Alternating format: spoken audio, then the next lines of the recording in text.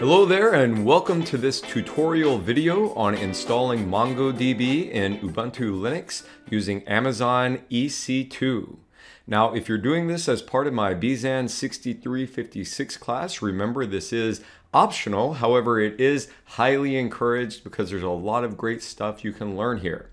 So to get started, just go to aws.amazon.com and recall, just like before, if you haven't created an account yet, you will need to go ahead and do that. And be forewarned that in order to create an account, you do have to provide a credit card number. So as you follow along with this tutorial, as long as you are careful to select all of the free options, and I'm going to point out what will keep you on the free tier, you should not incur any charges. Uh, however, I can't be held responsible if you click on the wrong thing or something like that. So just be careful about what you're selecting, and you should be able to do this for no cost. So I'm going to go ahead and click this orange button to sign into the console. And here we have the AWS landing page. I'm going to go up to the services menu and select EC2. In order to connect to the instance once we get it deployed, we are going to need to authenticate with a private key. If you already generated a private key as part of the HBase installation, you can just use that key over again and you don't need to create a new one. But let's go through the steps of creating a private key just to make sure everyone is on the same page. So on the left-hand side here under Network and Security, click on this link that says Key Pairs. And I have a couple of things here. If you haven't created a private key already, you won't have anything here but just click this orange button that says create key pair. Let's give it a name. I'm gonna call this MongoDB demo. And you have two options for the file format, either PEM or PPK. Uh, if you're going to be using PuTTY, the PPK file is going to be easier to use. If you do the PEM, there are a few steps you have to go through to convert it to a file that PuTTY can use. So I would suggest just doing the PPK file click on create key pair. And when you do that, now you see you have your uh, show up in the list and also a file was downloaded to your computer. Now, for all practical intents and purposes, this file is your password. So you need to store it somewhere secure and somewhere that you know where to access it. So I would go ahead and just open up your downloads folder and maybe drag this over to the uh, folder where you keep all of your documents about this class. But that file is going to be your password. So once you have that created, let's uh, go up to the instances link and uh, here you can see I have quite a few things running. Uh, I'm going to be blurring out quite a few things during this video just for the safety of our existing environment.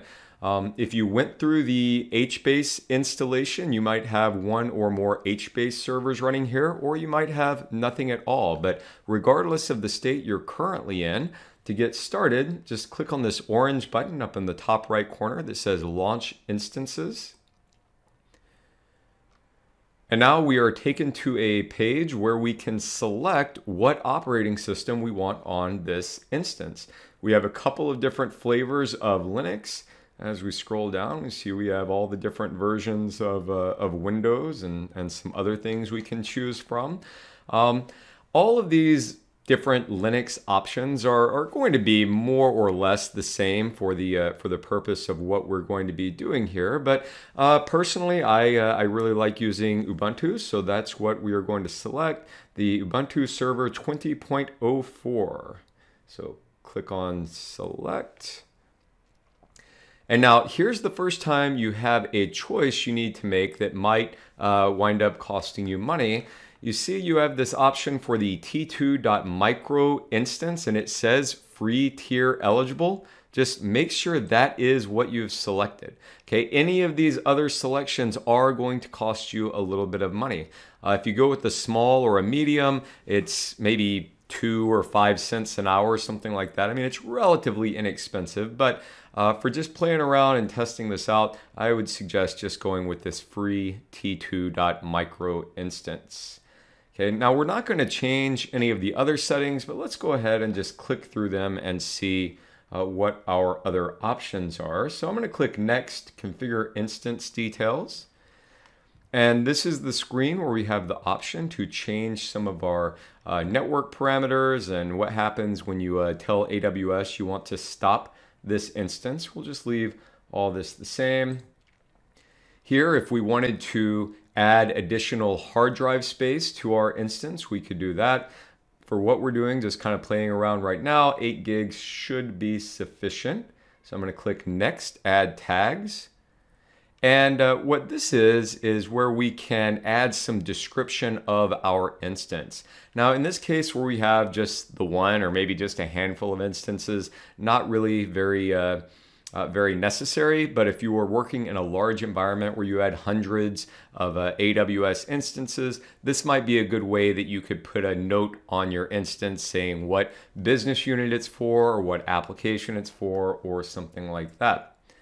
Okay, next we'll click uh, Configure Security Group and uh, AWS is going to automatically create a security group. And since this is a Linux server and the vast majority of the time, the way we're going to connect to a Linux server is through SSH, which runs on TCP port 22, uh, AWS has already pre-configured that as a firewall rule. So I'm going to click the blue button that says review and launch and it, uh, it gives us some details here and click the launch button. And now we have to select the key pair that we want to use to authenticate. So you should have in the list the key pair that you just created, or you could use the key pair that you generated as part of the uh, HBase demo if you, if you have that. But I'm going to select this MongoDB demo key pair. You have to check the box that says, I acknowledge I have access to this private key because if you do this and you don't have the private key, there is literally no way you can authenticate uh, to this server. So you would just have to start over. I'm going to click this blue button that says Launch Instances. And in just a moment, this will take us back to the EC2 dashboard, or it'll take us to this screen. When we click View Instances, we're back at our dashboard and you see we have this new instance that is in a state of pending. So this is gonna take just a, a uh, couple of minutes to get up and running. So we'll pause the video for a moment and come back when it's finished. All right, so our instance has finished deploying. The instance state says running. Uh, just to make things a little bit more clear, uh, over here in the name column, I'm gonna click on this button to uh, add a name to this, and I'm going to call this uh, Mongo Demo. So we know what that is. Uh, when you click on your instance, you see here at the bottom, you get a bunch of details about the instance. And one of the most important things for connecting is this public IPv4 address. So this is the address that we're going to use to connect to our instance via PuTTY. So I'm going to select that and copy it. And then I am going to launch PuTTY on my computer. Drag this over here and I'm going to zoom in so you can see a little bit better. I'm going to paste that IP address right here where it says host name. And it's probably a good idea to just create a, a saved session to make it easier to get back to this in the future. So I'm going to call this uh, saved session Mongo demo and click save. And uh, the other thing we need to do, because we mentioned that we're going to be authenticating using that, using that private key, is to, in the left-hand side where you see SSH, expand that, and then click on auth. And then right here, it asks for the private key file for authentication. So I'm going to click on the browse button and I am going to navigate to where that file is stored. And in my case, I've just kept it in my downloads folder, but again, I would suggest you put this in uh, maybe the folder you have all your class material uh, stored in. So mongodb demo.ppk, click open. Once I've made that change, I actually need to save my profile again, so that gets uh, recorded within PuTTY and I am going to click the open button to open my connection. Now the first time you connect, you're going to get this warning that says the server's host key is not cached in the registry. That's just saying that your computer or your installation of PuTTY doesn't recognize the server you're connecting to. Are you sure you really want to do this? Click yes. Okay, and now you have a login prompt. Okay, so the username we need to log in as is Ubuntu. And then when you hit enter, it's going to use the private key file to authenticate. And now we are connected to our server. And now one thing I'm going to point out here, and this is very common in, in Linux operating systems, is that this Ubuntu user that we have connected as has just kind of regular user privileges. And in order to do anything more powerful on the server, we have to put this special command sudo, S-U-D-O, in front of the command. And basically what that is going to do is for that one command, elevate you to having administrative privileges on the uh, on the server. This is kind of like in Windows when you get that uh, window that pops up and says you need administrative rights to do this. You know, click OK to run as administrator. Okay, so a lot of the commands we're going to be using to install MongoDB will have to say sudo in front of it. Now, one thing I will point out as we're getting started is there is great documentation on MongoDB's website for installing uh, MongoDB on uh, all different versions of Linux, macOS, and Windows. So if you just Google uh, MongoDB install on Ubuntu, you will find these exact same uh, instructions that we are about to go through. So let me switch back over to our server and we'll get started with that. Now, one of the really nice things about most Linux distributions is they have a package manager. So Windows has kind of moved in this direction over the last couple of years, but generally in Windows, if you want to install a piece of software, you go to the website, you download the, uh, the executable or the installer file, you install it, and you can go through all that. In most Linux distributions, there's a package manager that keeps track of popular pieces of software, and with a few commands, you can tell the package manager to just automatically and go out and install either the latest version or, or a specific version of this software, and it reaches out over the internet, downloads it, installs it, configures it, and uh, if you want, even can keep it up to date. So we're going to be using the apt package manager, which is a part of Ubuntu uh, in just a moment. But before we do that, we need to uh, tell apt where we want to install MongoDB from. And to do that, we first need to run a couple of commands to uh, tell our Linux installation to trust the repository that we're going to be downloading this from. So first of all, we are going to add this key to our, uh, to our server. And then we are going to run this command, which is going to add the MongoDB repository to uh, the list of repositories that apt is going to look in. So next we just need to tell apt to update its list of repositories that it's going to be looking in. And to do that, we uh, first type sudo to get an elevated uh, execution of this type apt get update. Okay, this will take just a moment and it's just kind of refreshing. And you see here at the end, it's now going to be looking in this uh, repo.mongodb.org and it is done. And now all we need to do is tell the package manager that we want to install MongoDB. So I'm going to type sudo apt get install, and then we have to tell it the name of the package, which in this case is mongodb-org. Now, when we do this, apt is just telling us it's going to be downloading 104 meg of data and the installation is going to take 200 meg of disk space. I'm going to say, yes, I do want to do this. Okay, now it's reaching out over the internet to mongodb.org, downloading the installation files, installing MongoDB.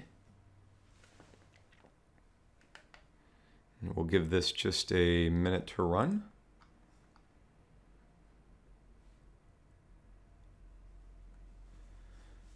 All right, and at this point, as simple as that, MongoDB is installed on our Linux server. So now we just need to start the MongoDB server and we do that with this uh, command here, uh, systemctl start. And this looks like MonGod, but this is actually MongoD. Uh, you'll find a lot of Linux services end with the letter D, which uh, stands for demon, and there's a big lot of uh, a lot of history behind why that is. Uh, but just know that uh, this is the Mongo daemon, which is the Mongo server process that uh, that is going to be store or running our database. So sudo uh, systemctl start mongod. We do that, now Mongo is up and running. We can verify that by asking about the status. It says, yes, we are active and running. And we're going to run one more systemctl command to make MongoD just start when the computer boots up. And that's to say sudo systemctl enable MongoD. Okay, and now if we reboot the server, Mongo database is going to automatically start up. So now that MongoDB is up and running, let's uh, go ahead and just try to connect to it. So we're going to connect by launching the Mongo client and then the name of whatever database we want to connect to. And as described in the other videos, there are no databases that exist yet, but any database we try to connect to will be created as soon as we write data to it. So I'm going to type Mongo test. And now we are connected to MongoDB. We said something like show collections, we see there currently is not anything. If we wanted to insert into our collection a, uh, a document describing the uh, town uh, or the city of New York, uh, we say db.towns.insert, and then here is our JSON object. And we could say db.towns.find and see that we do actually have uh, this object in our MongoDB database. So just like that, we have a MongoDB instance up and running. I hope you found this information useful and with this knowledge, go forth and do great things.